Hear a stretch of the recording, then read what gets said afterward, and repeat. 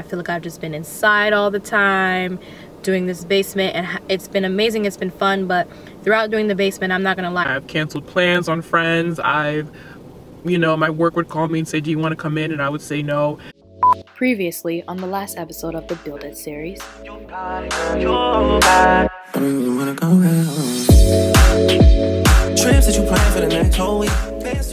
so it is really yellow but as you can see I have so much space to breathe.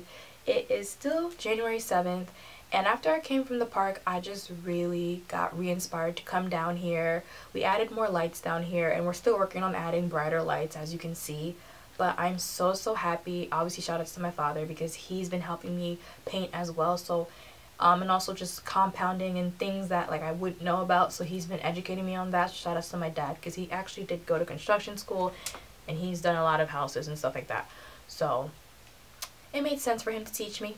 Um, oh my god, this looks so good. Like you can already kind of tell how nice it looks already, like from the chalkboard wall, the fabric I added, and then obviously all that stuff. And what's lighting my face right now is my high school musical lamp that I don't even use anymore. So I've just been using that as an extra source of light for this side since we're using the other extra source of light that used to be in here on the side that I'm on my side which I'm now painting white. Um I talk really fast I know especially when I know I just I want to make something quick. But in all um where was I going with this? So I'm going to show you guys my side and it was a huge debate because I'll show y'all. So it was a huge debate because I didn't know if I wanted to do all white with the closet or whatever. As you can see as you're walking you can kind of see how my mom's office is already starting to look. Alright, so I'm to show y'all the great closet. Alright, so you can't really see the beauty of it, but this is the white. Um, and when you come over here, this is the gray wall, the gray closet. And it just looks so good. This is how it looks.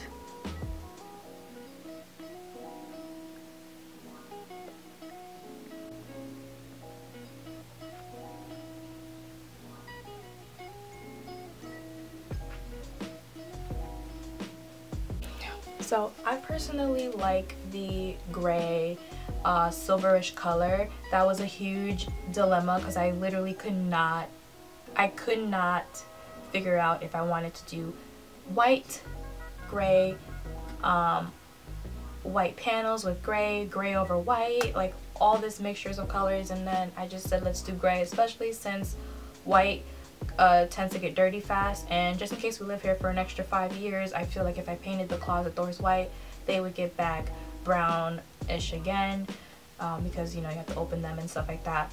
Um, I'm probably not even going to use those closets, it's more for everyone else's stuff. Um, but I just wanted to do an update because I feel like the series will still make sense, but I do feel like there's a few gaps, especially since the new year.